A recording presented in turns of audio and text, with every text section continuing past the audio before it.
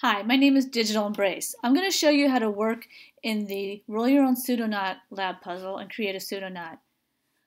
One of the easiest way to work on this is when you first open it's this big loop of A's, right? So how do you get started? I like to use the magic, the uh, magic glue here, this tool. So click on it, and we're going to create a stem to start with. So let's do a stem with seven nucleotides. So I, I have to click, and then roll along here, and I want seven. They have to match. The number has to match. There's seven. Leave a big loop here, however big you want. I'm going to move this up, and we're going to do seven more. So there's six. then when I click seven, they all snap together. And that then also changes the target mode, and I'm currently in target mode. So now I'm going to freeze because it takes a long it takes like 10 seconds to do each recalculation because it's a complicated algorithm here for the pseudoknot. So it's better to freeze and do it all at once, much quicker. So I'm going to fill this in with my pairs that I want, put the GC here, then unfreeze, and we'll let it calculate. And you'll see that we then have a stem. And then uh, with the stem, then we want to create the pseudoknot. So I'm still currently in target mode. And there we go. So now I'm going to, um, yes, I'll stay in this. Um, now I want to create the pseudoknot. So again, I'm going to freeze. One of the good ways to do this is just use a bunch of GC. So I'll put in the G here, and a couple of G's down here, and then I'll put in the C's, corresponding C's, to create the GC pairs, and unfreeze and it's going to take about 10 seconds here while we let that fold. And then once it's done the calculations, we'll go into target mode, I'm sorry, natural mode, so you can see what the pseudoknot looks like. And then next thing we'll do is we'll have to make this barcode here.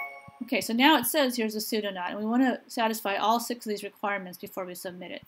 So we go into natural mode, and there is our pseudoknot we want.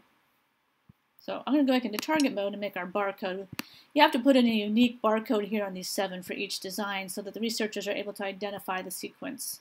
And we need it to be a, um, in a hairpin. It helps with the experimental process also to, to slow degradation. So again, I'm going to freeze just because it's quicker and put in a couple of GC and put in some AU and unfreeze to let that calculate.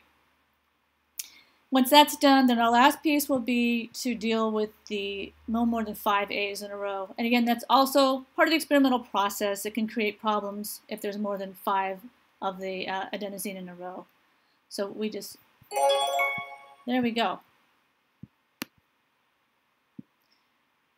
And again, I can go into natural mode and see the pseudoknot. So our last thing we're going to do is place, um, to break up these A's. So I'm going to, again, freeze. And how many did I leave here? Looks like I left six. So I'm going to have to do one of these. And then I'll stick these on here. Let it calculate. And then we should be ready to submit. Then we should have our pseudoknot and all of our conditions met. And then I'll show you how to uh, look at other players' designs is the last thing that I'll look at on this. It's a little slow calculating. There we go. Now we're going to submit. Uh, you can use lots of any kind of naming you want. I like to use my name because then later it's easier to find uh, in the design list. And if you go into submit and it tells you that you haven't met one of the conditions, that means that you need to go back in and need something. And then it says the barcode is no longer unique because it was used in the design that was just submitted. So if I were to make a change to this, then I would I can make changes and then do a new barcode and submit. Now for anyone who's new, the way you look at other designs is you go over to this right hand menu and you can reset here and you can copy or paste in and here is where you go into designs. Re reset would be if you wanted to once you do the magic glue, you have that it stays in target mode there in target mode. So you could either do magic glue again and, and change those. You can actually undo them, or you could uh, reset would be another way to do that. So you could uh, go into another design here through the list. Let's look at one of Voltor's. And you click that, in order to see their sequence. And it's perfectly fine. If you're a new player, it's perfectly fine to take other players' designs and modify them and submit it, but just always give attribution to the original design. And I'm waiting and I'm waiting. And my laptop's getting a little overheated. I'm there we go. I'm gonna close out of this. Now it opens target mode, gotta go into natural mode so you can actually see it. Wow, there's a big one. So how do you look at all that? Press L on your keypad and it will change it into the, the non-conflict mode.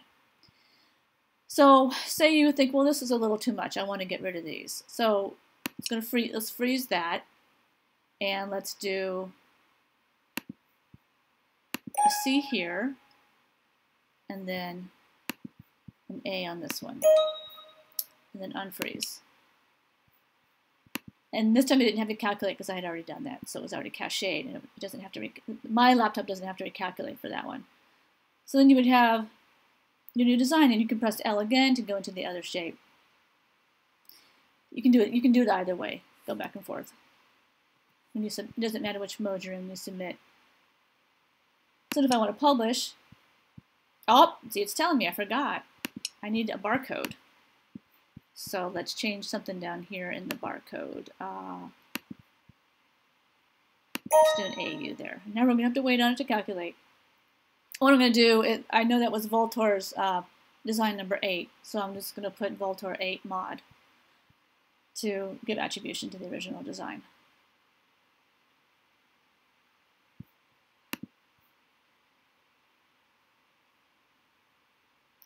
And we're waiting, and we're waiting. Okay, there we go. So now I can submit. I'm going to put Vol uh, Voltor 8 mod.